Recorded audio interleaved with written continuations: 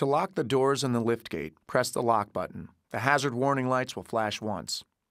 To confirm that all doors have been locked, press the lock button again within 5 seconds. If they are closed and locked, the horn will sound and the hazard warning lights will flash once. To unlock the driver's door, press the unlock button. The hazard warning lights will flash twice. To unlock all doors, press the unlock button again within 5 seconds. The hazard warning lights will flash twice. To signal for attention in an emergency, press the panic button for one second. The horn will sound intermittently and the hazard warning lights will flash. To turn off this alarm, press any button on the transmitter. To extend the key, press the release button.